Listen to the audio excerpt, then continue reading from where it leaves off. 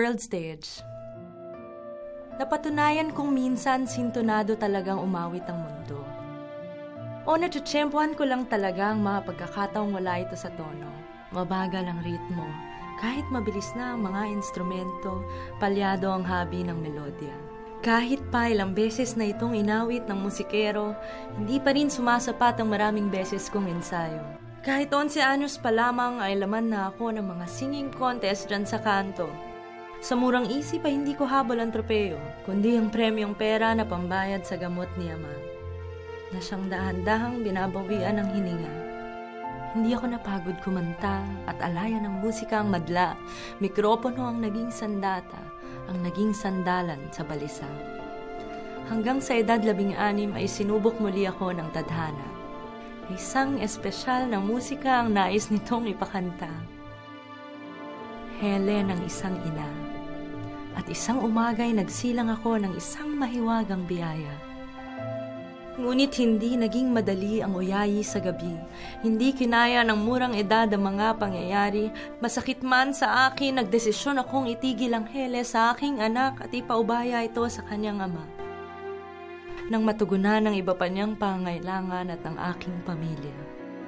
Nilibot ko ang Pilipinas, ipinarinig ko sa mga rehiyon nito ang musika ng isang batang ina, hanggang mapadpad ako sa Maynila at naging miyembro ng papausbong pa lamang na banda.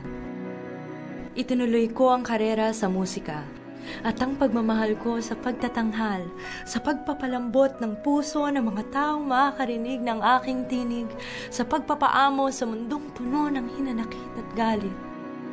Nagpatuloy ako sa pag-awit hanggang makarating ng ibang bansa. Sa China, nagumpisa itong kakaibang musika. May bagong entrada, may bagong liriko at koro. Inibig ako ng isang Italiano.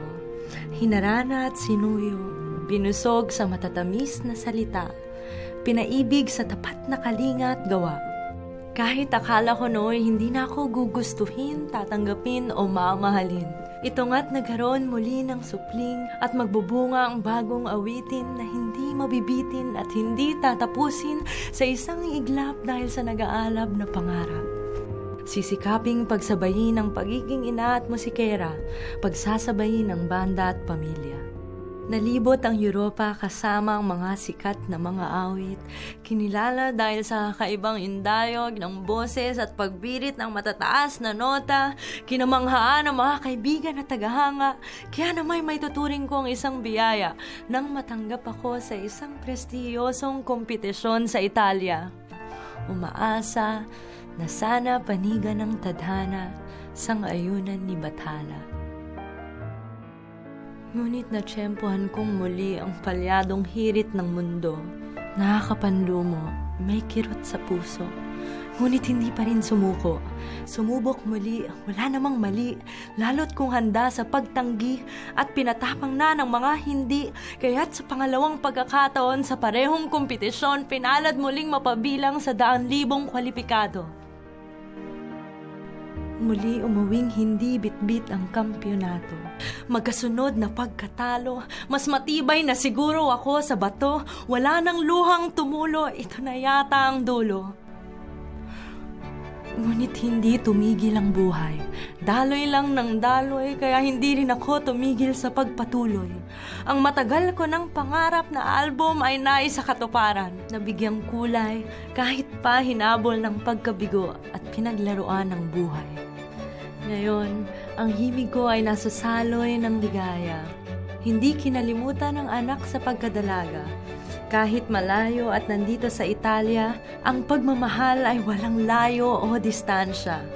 Kasama ang bagong pamilya, ipagpapatuloy ang himig ng pagpupursigi at mananampalatayang may bagong umagang masisilayan sa bawat pangarap na hindi mawari.